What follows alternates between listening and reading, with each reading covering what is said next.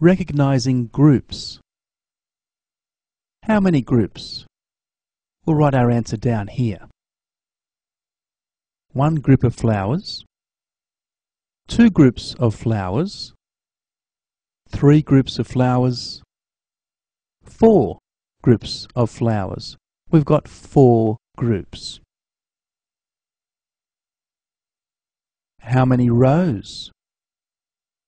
We'll write our answer down here. One row of fire engines, two rows of fire engines. We've got two rows. How many rows? Let's write our answer down here.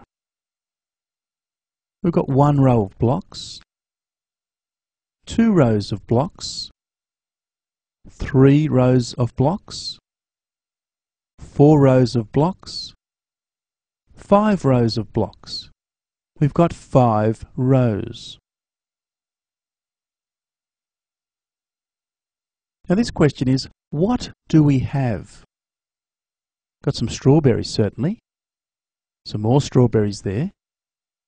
Some more strawberries again. We've got three groups. But we're going to add a little bit more information. How many in each group? There's two strawberries. So we've got three groups of two.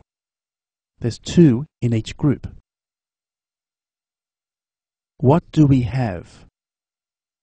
Got some pencils there. One row. Another row of pencils. So certainly we've got two rows. But I wonder how many in each row. Let's just count the top row.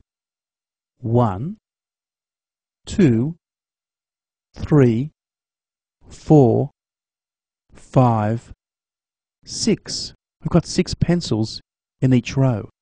So we've got two rows of six. There were six in each row.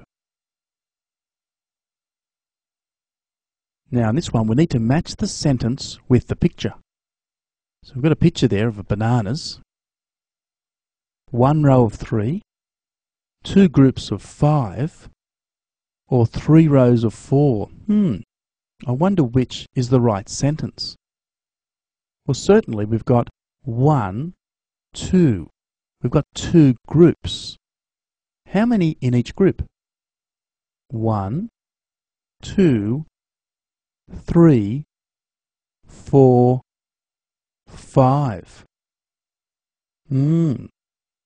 We've got two groups of five.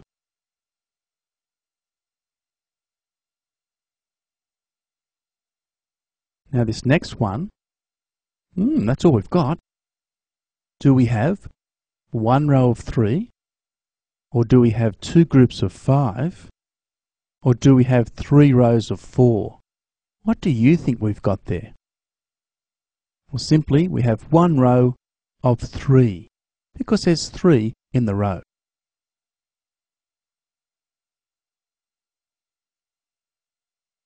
Mmm, lots of oranges here. Do we have two rows of four or five groups of three or three rows of four? I wonder what we've got. Well, let's see. That's one row. That's two rows and that's three rows. How many in each row? One, two, three, four. Four in each row. So we've got three rows of four. Excellent. Well, that's the end of the lesson. I'm sure you're going to enjoy your questions.